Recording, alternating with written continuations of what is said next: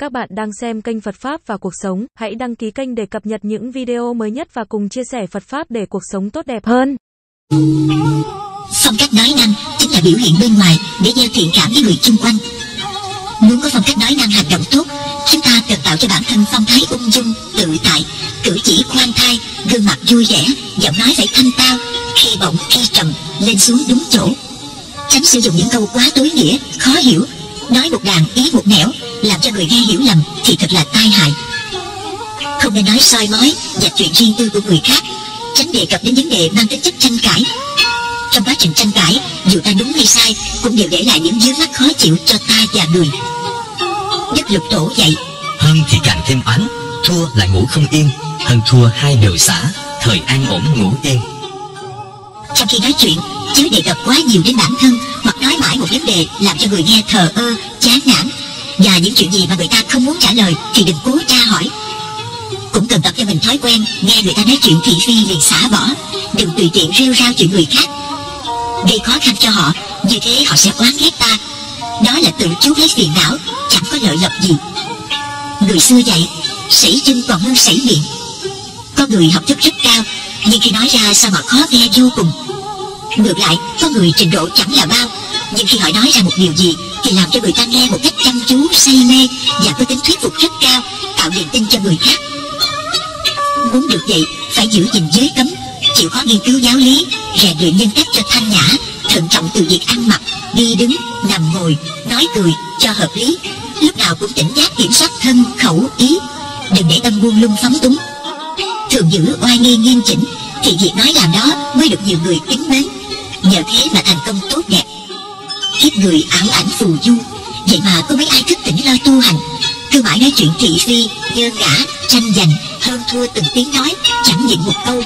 Cho nên cứ mãi lẫn quẩn trong dòng phiền não, sanh, lão, bệnh, tử, chịu bao kiếp nạn Lời nói là giống oan khiên Cũng vì mở miệng lụy phiền đến thân. Lời ăn tiếng nói ân cần, Suy xét chính đáng, muôn phần khỏi lo. Một lời mà lỗi quá to, Tan nhà mất nước cũng do miệng mình. Bớt nói một câu chuyện Bớt sang một lỗi quấy Thêm một câu niệm Phật Thêm nhiều duyên giải thoát.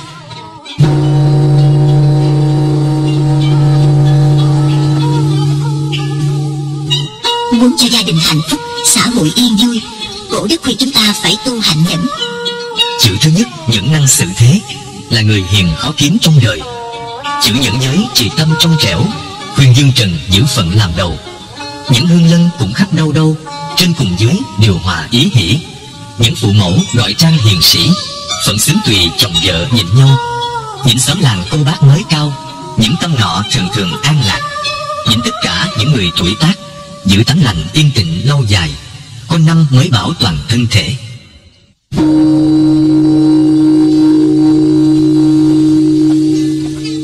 Sinh già bệnh chết là những gánh nặng đè lên vai của tất cả mọi người. Những gì xảy đến với người khác thì cũng có thể xảy ra cho chúng ta bất cứ lúc nào. Thân này không bao lâu sẽ vùi sâu đáy mộ Như cây khô khúc gỗ Dứt bỏ vì vô thức. Kinh Pháp Cú.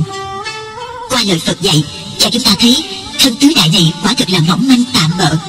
Nếu chúng ta không biết sử dụng năng lực của tuổi trẻ để thực hiện những điều chân chính thì không mấy chốc tuổi già đến ta sẽ hối tiếc cuộc sống rất vô thường cái khổ của sinh lão bệnh tử luôn luôn rình rập ta. Những ngọn lửa phiền não nội tâm như tham vọng, giận dữ, oán thù ganh ghét, kiêu mạn, nghi kỵ và bất mãn đang nung nấu tâm hồn chúng ta đều do ta thiếu sáng suốt mà sanh ra.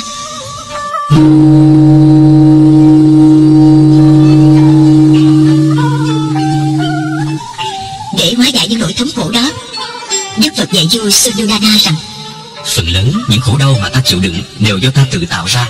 Không thể nào thoát ra được khổ đau Bằng cách gian xin, cầu cứu với một vị thần linh nào. Ta phải quán chiếu tâm ta Và môi trường hoàn cảnh chung quanh ta. Mỗi cử chỉ hành động phải tỉnh giác Để loại trừ những nhận thức sai lầm Đã từng làm cho ta khổ đau. Ví dụ Có một người nào đó đến chửi mắng ta.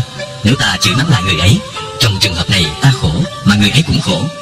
Theo đạo lý tỉnh thức Thì ta không nên vội nổi giận chửi mắng họ. Trong lúc đó, phải bình tâm quán chiếu Để thấy được vì sao họ tới chửi mắng ta. Nếu ta thật sự có lỗi, Thì thành thực nhận khuyết điểm sửa sai. Nếu ta không có lỗi, Thì chắc chắn họ đã hiểu lầm. Trong khi đó, ta phải sáng suốt chứng minh cho họ thấy được Sự hiểu lầm ấy. Làm như vậy, ta tránh được khổ đau cho ta Và cũng giải tỏa được khổ đau cho họ. Này đại dương Muốn thoát ra mọi khổ đau Phải biết thực tập sống theo tinh thần giới định huệ. Giới là nguyên tắc sống an lạc. Có an lạc mới thực hiện được định.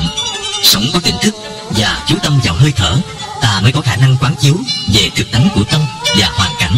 Khi đó ta mới có huệ. Tức là sự hiểu biết vậy.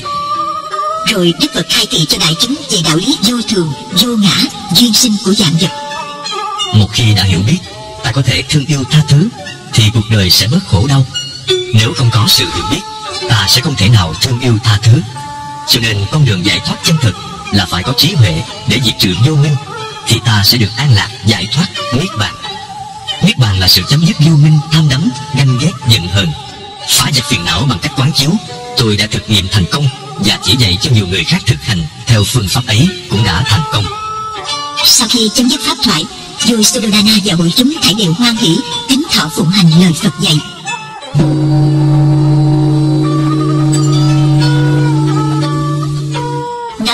Nói của sự ganh ghét đố kỵ hận thù. Thuở Phật, có ông thầy tên là Kokalika Thấy Đại Đức Xá Lợi Phất là một người đệ tử lớn, Được Đức Phật tin yêu. Mỗi khi Phật quyết định điều gì Hoặc vỡ trách và giáo giới vị tỳ kheo nào, Là thầy Kokalika cho rằng Phật nghe những lời nói ra nói vào của Đại Đức Xá Lợi Phất. Vì thế, thầy đem lòng ganh ghét Đại Đức Xá Lợi Phất.